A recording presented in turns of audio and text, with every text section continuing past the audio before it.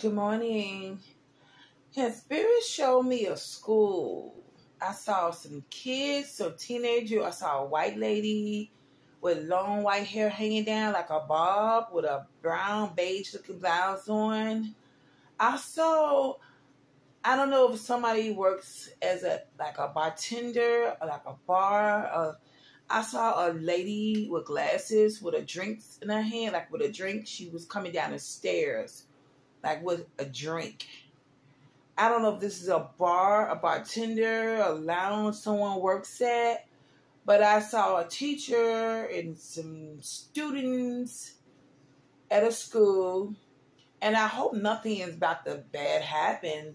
Because you know we be having them crazy ass people that come to school start shooting the school up and shit.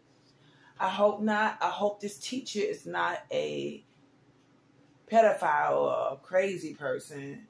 But I saw a white lady, okay, with some students at a school, and I saw a lady with glasses. White lady, she can be black or white, but she had on glasses. She had her hair in a ponytail, and she had a drink in like on a plate, like she was serving, about to serve someone a drink she was taking a drink to someone. So I don't know if someone's a bartender that walk, works at a bar. Okay, guys. All right, smooches.